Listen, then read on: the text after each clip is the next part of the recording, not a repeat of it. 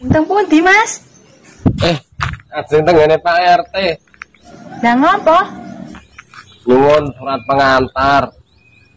Perpanjangan niku PPKM. Oh, lah wong edan.